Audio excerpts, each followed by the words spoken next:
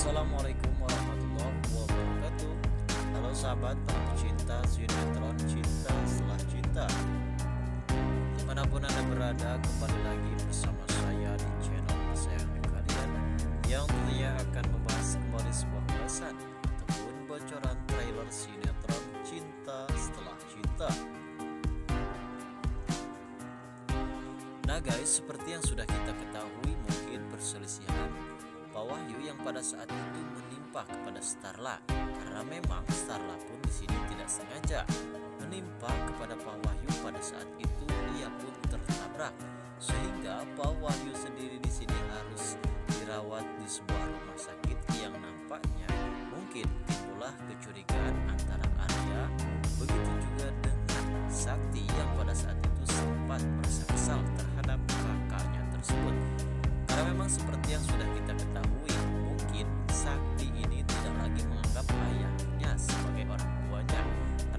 rasa kesal tersebut di mana Starla yang selalu dibela oleh Sakti. Sakti pun sudah mengetahui sifat dan watak dari kelakuan si Starla ini karena nampaknya Starla pun tidak mungkin melakukan ini dengan sengaja. Begitu perihalnya di mana Arya pun sedikit tidaknya menemukan hal yang janggal pada saat itu. Di mana Arya yang sangat begitu jeli ia pun memperhatikan tangan dari Pak Wahyu yang sedang terbaring di sebuah rumah sakit. Karena nampaknya Arya sempat curiga terhadap Ayumi melihat Ayumi yang sangat begitu tidak suka melihat Pak Wahyu akan sadar. Di situlah Arya pun mulai tumbuh rasa curiga di mana antara Ayumi dan Wahyu pun sempat bertemu sebelumnya. Tentu kejadian ini membuat kita semua bakal dibikin penasaran lagi dan apakah kali ini terbebas dari jeratan hukum di sebuah penjara ya guys.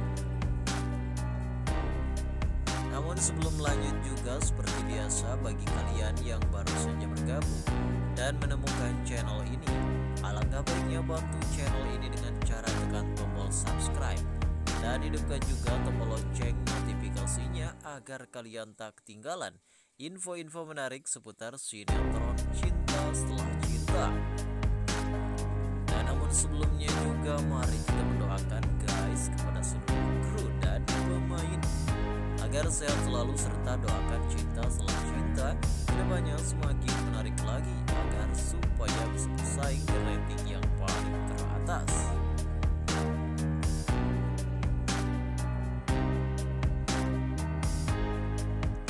Seperti yang sudah kita ketahui di episode tadi siang, di mana di sini diceritakan bahwasanya konflik timbul antara Pak Wahyu bersama Ayumi yang nampaknya Arya pun sedikit merasa curiga terhadap Ayumi, di mana Ayumi pun sedikit berbeda ketika ia melihat Pak Wahyu pada saat itu, yang nampaknya Ayumi sendiri di sini merasa kesal terhadap perilaku Pak Wahyu karena mungkin terjadilah perkelahian antara Pak Wahyu bersama Ayumi di mana Sakti bersama kakaknya yang mungkin kali itu sempat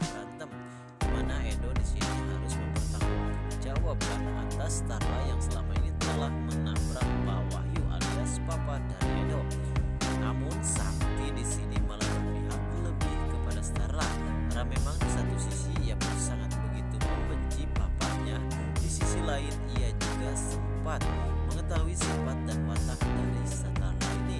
Yang nampaknya Sakti juga berpikir kalau ini adalah sebuah musibah yang tanpa disengaja. Dan tanya itu Arya sendiri mengetahui luka lebam yang ada di tangan Pak Wahyu.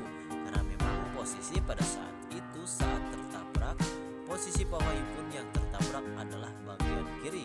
Namun malah yang luka adalah bagian kanan. Sehingga di sini Arya pun sempat ingin menghubungi Sakti untuk supaya mengecek keadaan dari papanya tersebut. Karena nampaknya apabila Pak Yuhutun telah tersadar tentu di situ jawaban pun akan terjawab bahwasanya Starla pun di situ memang tidak sengaja namun proses hukum memang berjalan dengan lancar karena nampaknya Starla pun di sini merasa bersalah juga karena perbuatannya di mana Pak pada saat itu sempat tertabrak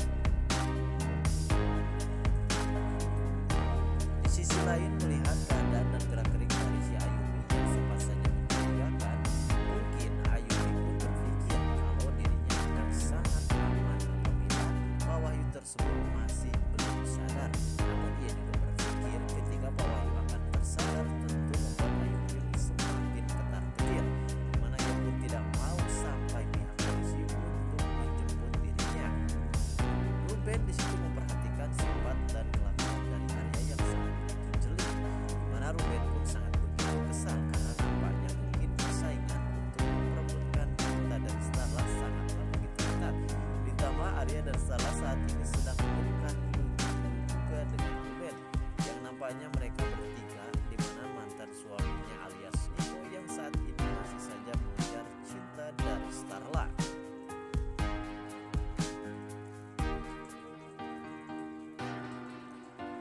Di sisi lain juga pada saat itu si Nila yang sempat terkejut ketika si Beno malah menjemput Nila karena nampaknya Starla pada saat itu sudah ditahan alias disekap di dalam sebuah sel. Yang pada akhirnya di sini mereka pun semua sempat terkejut ketika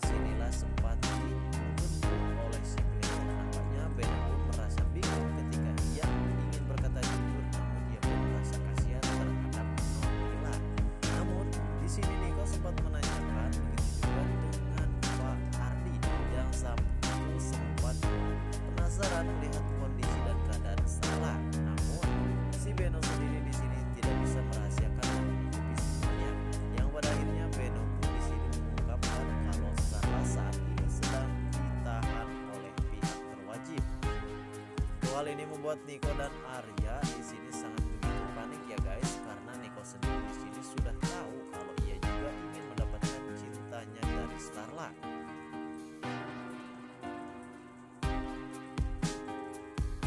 Dan di sini juga Starla sempat bertemu bersama Niko di mana Starla pun mengungkapkan kata-kata terakhir terhadap si Niko karena memang Starla saat